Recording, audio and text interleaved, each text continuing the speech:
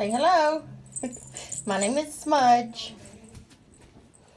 And I'm a two and a half month old buff tabby male. And I love feathers. This adorable boy has a gorgeous colored coat. I like to call champagne. Yeah, see, I like to call it champagne. But it's basically an orange tabby cap uh, diluted. So the dilute dilution gene applies and so he turns buff. Yeah, so I turned buff instead of orange.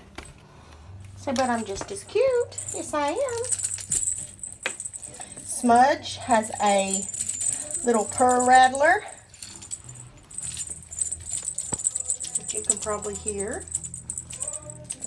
So yeah, I turn it on when I'm happy. And that means when it's playing with toy time. yeah, when it's playing with toy time. Or when it's snuggle time. Say I like both. Smudge is a super social boy. He's very, very sweet. Loves attention, loves pets, loves to be held. Yeah. Say, but I mostly like the feather toys, yeah. Smudge would do fantastically in a home with another kitten. Say maybe one of my siblings or a foster first sibling my age could go home with me. Yeah, or maybe some to a home with someone who has another cat.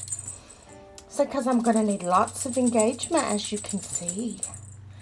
I need to be played, played, played, played, played with, and it really helps to have a friend get all my energies out. Smudge thinks that he's ready to go home. He's been neutered.